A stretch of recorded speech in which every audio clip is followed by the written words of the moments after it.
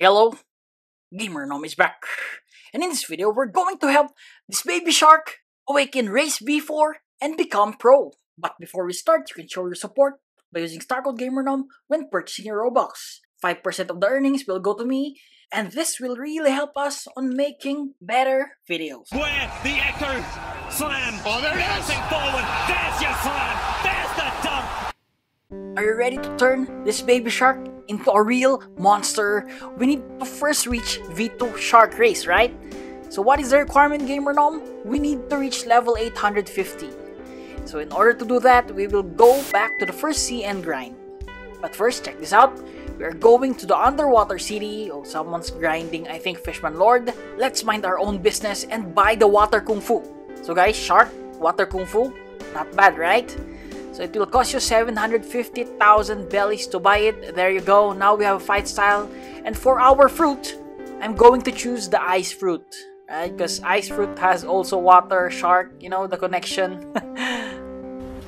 Wait a minute! But if you have a better fruit in mind, please comment it on the comment section and I will consider that.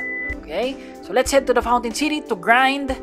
Don't worry guys, Galley Pirates. Again, Logia is in effect. Very easy grinding, okay? Whether you use your skills or left clicks, everything will be easy.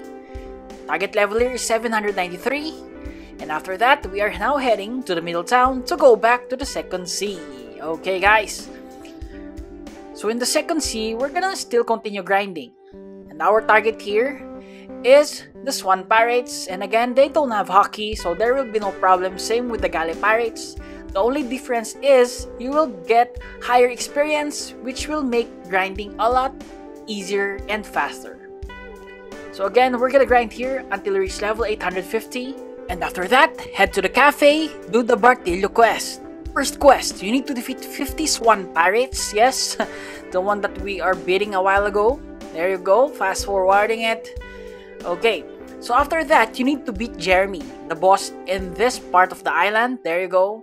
And after that, you can now head to the Coliseum. Make sure to finish the puzzle. So here's the puzzle, guys. First is Y, next is this one, next is this one, the C, the S, the M, after that, the N, there you go. Oh, sorry, it's F and N and B. Okay. After that, you will get the warrior helmet and now head to the green zone. Look for the NPC alchemist. After that, he will ask you to look for three flowers.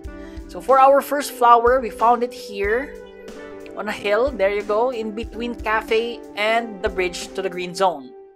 Next up guys, we got the yellow flower from beating Swan Pirates and the last one we got this from Usoap's Island, the blue flower, okay? There you go. So once you get all three flowers, you just need to go back to Alchemist, there you go, and you need to pay him. What a greedy dude, right? Like for 500,000 bellies. After that, it will enhance your ability to swim. No more damage taken from water anymore. Okay, Next up, Race V3. Target level is level 1000. That is the requirement level so that you can start the quest. So we're gonna keep grinding here with Swan Pirates until you reach level 925. Okay? So I'm gonna show you the stats. 250 mil defense, Fruits 2275. Moving on, next target is the green zone. And the target mob is Fajita or Fujitora. So guys, we're gonna server hop here until you reach level 1000. Don't worry guys, he's easy to defeat. There you go. Just do our technique, hit and run. Then we're gonna reach level 1000 here. Next up guys, you need a Blox Fruit worth 1 million or more. Head to the mansion and talk to this NPC. There go Trevor.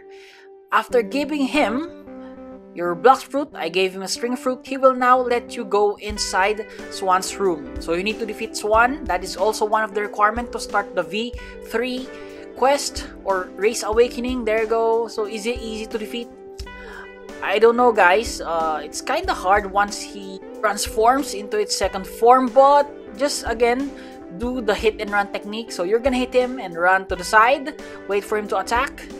There you go and use your skills. That's it. Again dash to the side. There you go use your skills. Dash to the side. And use your skills okay? Just be patient, keep on repeating that strategy, and that's it. Okay? Okay, after this, there is a secret passage here on Diamond's area, the boss, where you can find this one, Arowe. So he will ask you to defeat a sea beast. That is his requirement for race V3, Shark Awakening. Okay, so let's find a sea beast. Let's go. So gamer, Nom can you defeat a sea beast at level 1000? Guys, you're about to find out. Here it is, guys. Check this out. Boom. Check the HP. so I think we should grind first. Okay, so go back to Fajita until you reach level 1028. There you go. After that, we are heading towards the snow mountains. Here it is. Okay. So here, our target is with what? Dough Awakening. Wow. Whoa. Lakas ni Lodi ah. Anyway guys, back to grinding. That's the reason why we're here. So target here is Snow Troopers. Don't worry. No damage. There you go. So keep on grinding here until you reach level 1150 okay that is our target level here okay so after that we are heading towards the hot and cold so target here is the smoke admiral check this out guys wall strat don't worry again just use your left clicks and that's it very easy there you go guys no need to dodge etc ah. we are strong enough to tank his attacks or skills okay so for our target level it is 1288 Okay, 1288. After that, curse ship. And target, guys, ship deckhands. Only, okay? Only. Why? Because they don't have Haki And they're easy to defeat. They're near each other. They're near the quest giver, okay? So we are leaving here at level 1394. For the stats, melee 400, defense 1332, max Blox Fruits. Next up, Ice Castle, target Arctic Warriors. Guys, same with the other mobs. There you go. Just use your M1 if you want. Or if you want to make use of your fruit, there you go. Use your skills. Guys, we are too strong for these mobs. So at level 1474, next stop Forgotten Island. And we are going to reach level 1500 with the Sea Soldiers. Because uh, these are the only mobs that doesn't have Haki here. There you go. So guys, at level 1500, finally we, we can get our revenge from the sea beast. Okay. So can we beat him now? I think yes. There are no damage in the water now. Also, guys, take note that we are using the water kung fu now. Gamer Noma, I'm still having a hard time defeating sea beasts. Guys, some tips. Hmm. If you can, you use magma. That's really easy and uh, use your observation Haki wisely. Meaning only use it when he's about to use his laser, okay? So guys, I will be again I will be showing you the stats after this. I kind of balanced everything from defense to melee and to Blox Fruits. We're about to defeat this one. Okay. There you go guys. I'm gonna show you the stats like I told you. Defense 2000, melee 1000, Blox Fruits 15, okay? After this, you can now head back to Arowe, the one who gave you the V3 Race Awakening quest. Here he is. There you go. You need to pay him 2 million to evolve your race. And that's it guys. After that, just defeat or continue the Coliseum quest. You will fight Indra.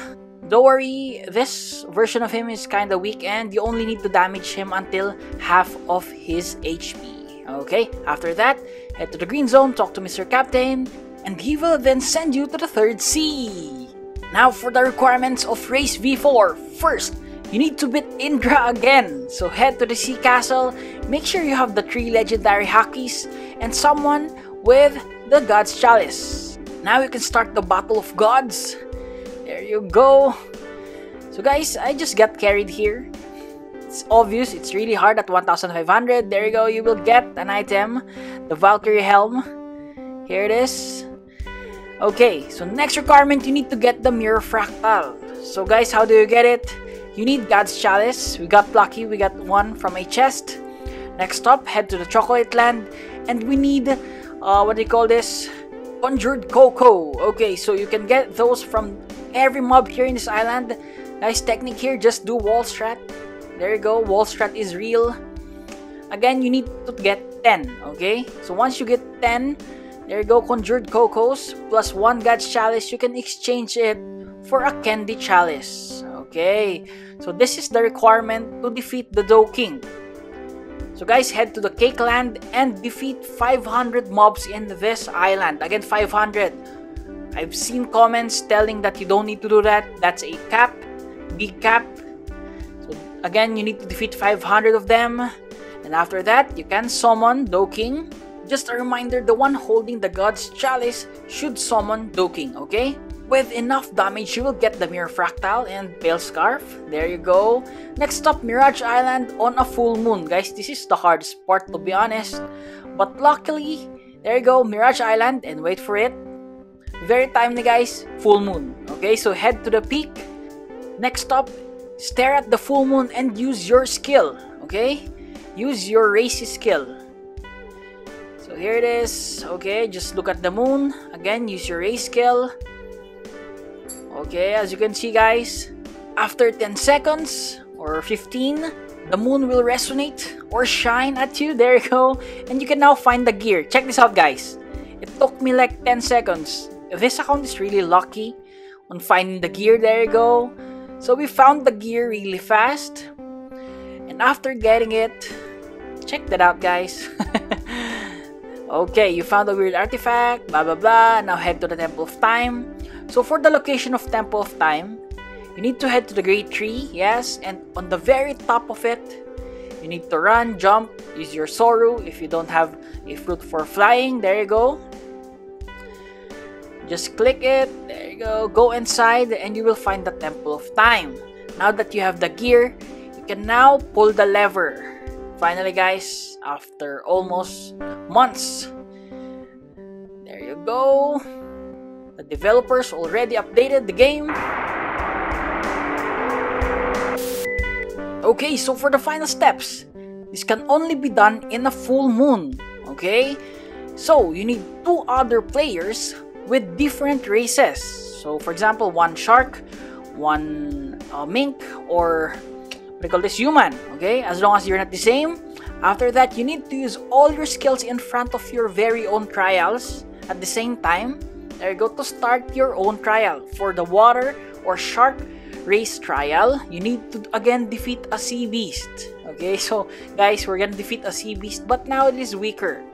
But the more trials that you finish, the stronger or the more health or HP the sea beast will have. Okay? So guys, there you go. You only have one minute to do this. So I suggest if you really want to do this easier, or finish this easier, use other fruits. or level up, okay?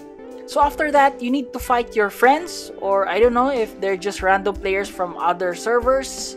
But for me, uh, these are my friends, so I asked them to lose on purpose. There you go. After that, you can now click the gears. Okay, let's head to that clock, ancient clock. So guys, if you wanna unlock everything, you need to at least, I think, finish it for 5 times. And for the mastery, I think 5 more times. There you go. So for the first one, it's transformation. So you just need to fill up this red bar. And after that, you can transform. Just push your Y on the keyboard, Y key, there you go. This will like max out all your stats. Next up guys, there are two gears. The blue gear, first one, I'm gonna showcase it, the whirlpool. So every time you hit your enemy, it will stack up and slow them and lower their defense. So as you can see guys, if you get hit, there you go, it stacks up and there's a whirlpool, right? So again, you get slower and your defense get weaker, okay? So that's it for the first gear or the blue gear. For the red gear, we have here, I guess, the shield, right? The Leviathan's armor, there you go. So every time you deal damage to your enemy, you will regenerate your shield, okay? So first, so let's try and damage this enemy. There you go, guys. No damage. He has the armor. But once it fades away, he can now get damage, okay? And in order for him to regenerate it, he needs to attack us. And to finish this video, we're going to use our own account. There you go, 1526 with Awakened Race V4 Shark. So as you can see, it has an armor. And check this out, we're gonna use our def click. There you go. As you can see, there is a whirlpool. There you go, slowed enemy and less defense. So now by attacking the enemy, we will regenerate our Leviathan Armor. Let's test it on other mobs. Guys, imagine this is a high level mob, but it is no match to us as long as we have the Race Awakening. So guys, do you think this is worth it? Comment it on the comment section and let's talk about it, okay? Let's kill one more. There you go. I think this will be an easy grind now. Okay guys, so again, I hope that you enjoyed this one. Again, to all the viewers, subscribers, supporters, I really appreciate you all. Is Gamer Nom. Gamer Nom out.